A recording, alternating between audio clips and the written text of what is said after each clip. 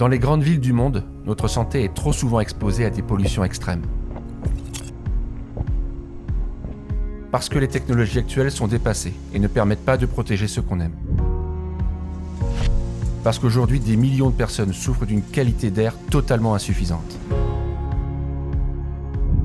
J'ai décidé de créer le premier Air Manager. Un projet passionnant et rempli de sens.